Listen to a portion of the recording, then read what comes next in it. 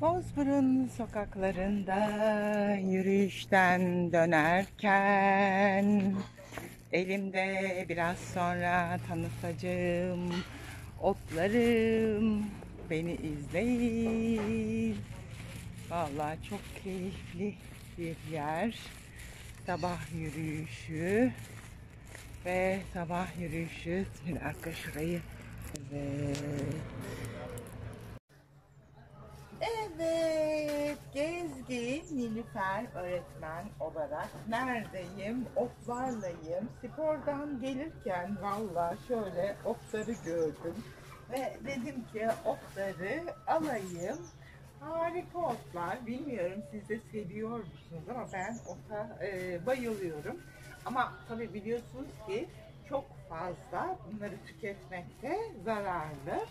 Bu karabağ otu doğal yalnız bunlar bakın dağdan toplanmış olanlar. Bu özellikle e, strese e, çok iyi geliyormuş migren ağrılarına. Ama tabii bunları çok fazla da tüketmemek gerekiyor arkadaşlar. Sonra sonra olmazsa olmazım benim kekik. E, evet kekik. Bu da aynı şekilde iki farklı kekikmiş bu. Ee, kekik de aynı şekilde sindirime çok çok iyi geliyor.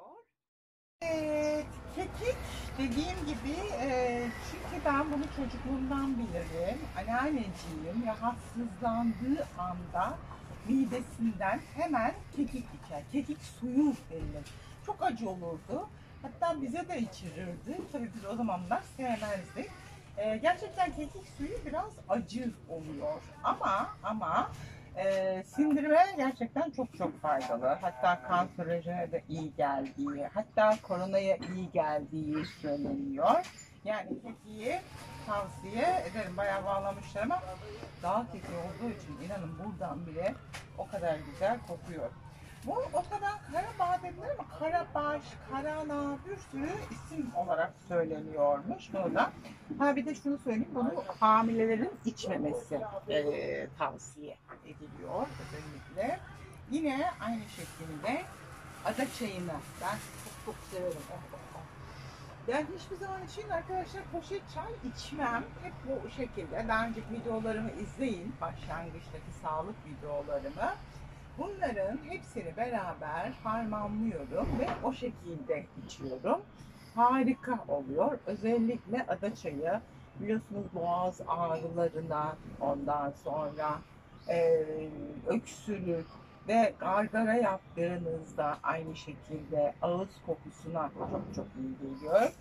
Evet başlangıçtan beri bir e, takipçim, hocam işte şunu tanıtın, bunu tanıtın ve çantamda var. Neden var biliyor musunuz? Geçen defada, neden bilmiyorum, hesabı değil diyeceğim bir arkadaşın hesabı. Şurayı e, yüzerken bir çizmiştim. Dedim ki bu sefer çizmeyeceğim ama geçen karalara gittim yine aynı şekilde ayağım denk geldi.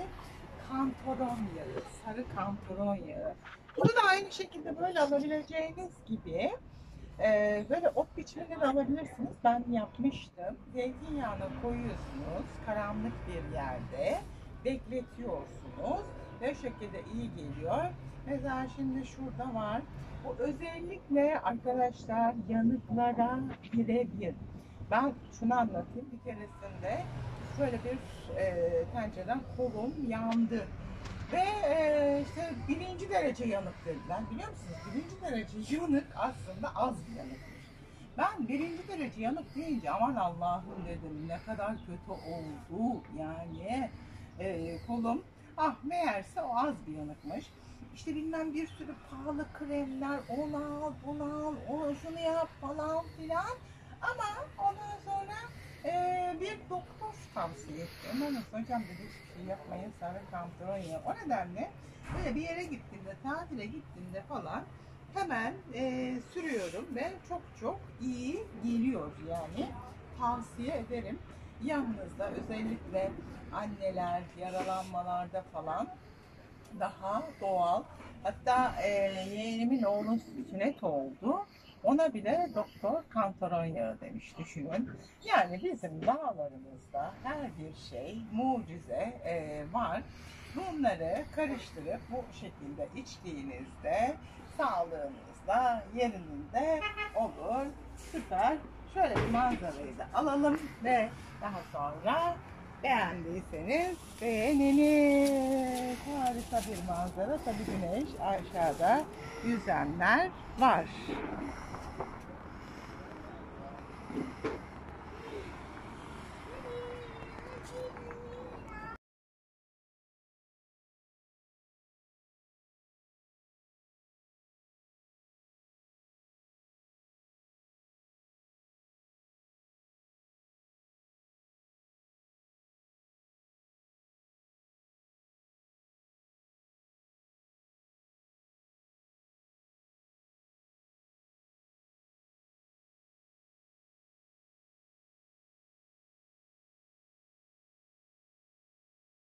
Burası da Dolphin Pink Otel. Şöyle harika bir konsepti var.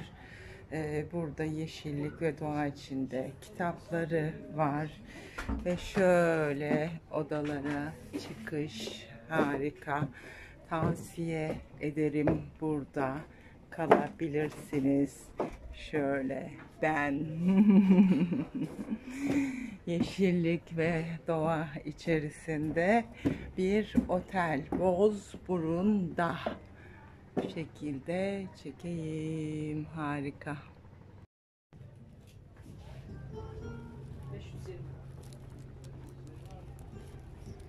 Hı hı.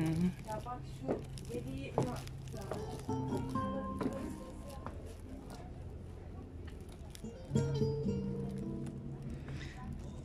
İsterseniz şurada da oturup kahvaltınızı, yemeğinizi yiyebilirsiniz bu Dolphin Pink Otel'de. Dezenfektan her yerde olduğu gibi burada da var. Ve denizi çekelim şöyle. Deniz harika. Pırıl pırıl masmavi balıklar orada var. Görüyorsunuz. Şuraya da geldi mi? Evet.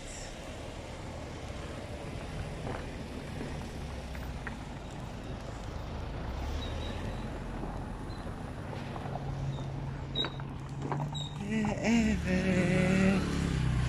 Şuraya gidelim. Oturanlar var mı? Bakalım.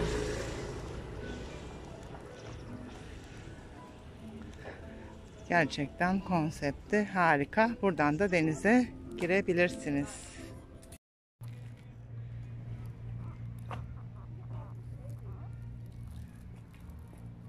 Ve şu saatte mis gibi yine Yasemin kokuları. Valla harika. Şurada da yine spor koşanlar. Oh. Ben de koşacağım biraz sonra. Şöyle çekeyim.